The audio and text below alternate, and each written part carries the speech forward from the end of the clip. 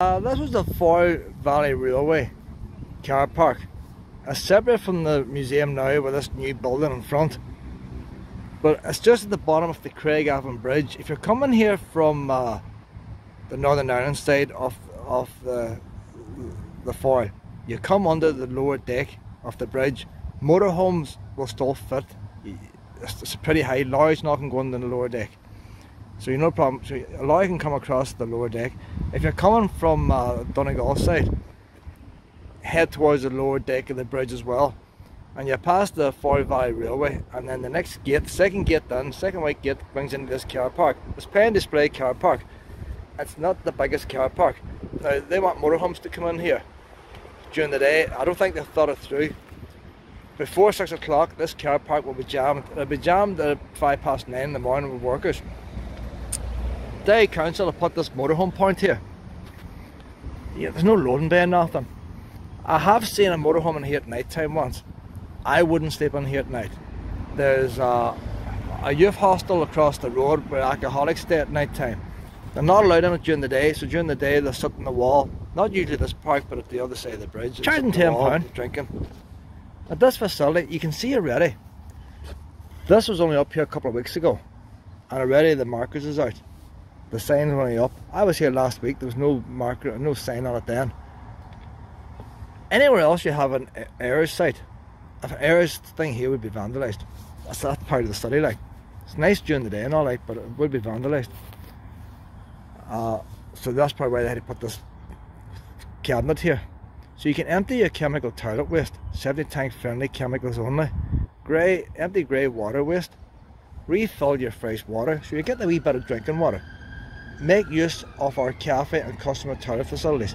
So that must be that building down there. They built that about one, two years ago. There's a wee cafe in the end of it. It wasn't even a year old and vandals broke into it and set on fire. So it must be up and going again. Uh, when the cafe and all is open, you can go in there and get the key for this. Uh, other than that, the taxi place, which is beside here, you go into there and get it. But it's £10 to use it. So you had to get your motorhome in here. Now after six o'clock, aye, you get in here. But like, where are you going to stop your motorhome? Long enough to take a walk down there. Bearing in mind the time you go to the cafe. So if you go to the cafe, where do you park this big motorhome? Uh, it's pay and display. You have to pay to park your motorhome. Plus you have to pay the £10 for this. And I've been thinking then, I'm, I'm from the city area and I've been thinking, like, man, I know where all the water taps are around Northern Ireland so I can get supplied with water in my travels. Uh, Derry Council, Strabane Council went together when they started joining councils together. When it comes to tree planting and landscaping, Derry Council way ahead. Strabane, useless. But when it comes to toilets, Strabane Council stuck toilets everywhere. The middle of nowhere, they would stick toilets. Derry Council do not do public toilets. There is no public toilets belonging to the council anywhere in the city. If you want public toilets, you have to go to shopping centres and things. So they're not used to getting people having free pees around here. But I was thinking then, if, if I was coming here to stay, I wouldn't recommend anybody stays here. If you want to come and wild camp at night time, at the other side of the Craigavon Bridge, towards the Strabane direction, you've got Prehen uh, Boathouse.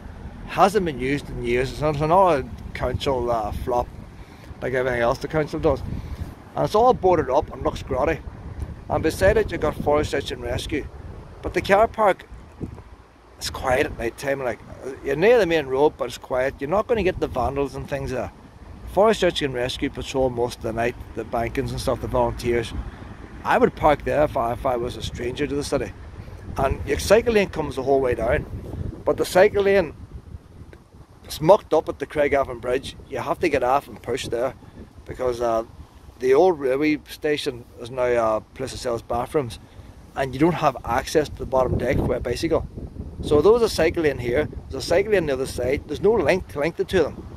And when you go up to the, upper deck, the traffic lights and all, they're just not there. The whole thing, it's just it's a missing, it's missing link.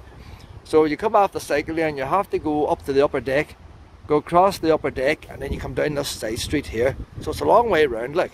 Either that or cycle the road. If you're willing to cycle the road, then it's not so long. and you can cycle across, but not everybody wants to cycle roads like. And I say lorries and all can use that under that deck of that bridge. It's a nice bridge to go over. It doesn't get enough publicity that Craigavon Bridge. Proper engineering like. But I was thinking if, if as far as getting drinking water, where do you get drinking water? And I was thinking then, I was looking Google Maps, you got Lisnagelvin Cemetery. Cemetery is the place to go. Toilets right at the entrance. And uh, they have water taps there. Forget for the graves. I don't know if it's how suitable it is for drinking. But that, I'm sure that wee tap's turned on every day, like. And I don't know about the city cemetery, I've never been in it. But I'd imagine the only place you're going to get a toilet and water in this city would be cemeteries. But I had a look there and this Lisnagelvin Cemetery, I don't even know it's called Lisnagelvin Cemetery, it's not actually marked on Google Maps. It's over by Glendermott Church, it's not far from Galvin Hospital. So if you look at Google Maps, look for a cemetery and you zoom into it, you might see them with the toilets, it's just at the entrance.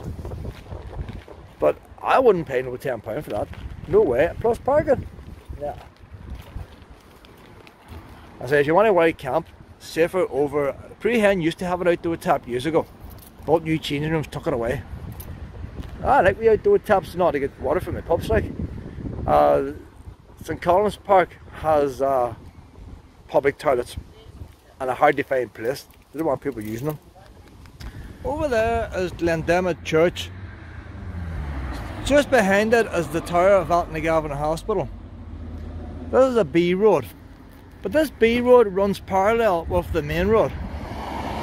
So the main road coming from Belfast and Lundays is the other side of the cemetery, the other side of that church. A few houses in between.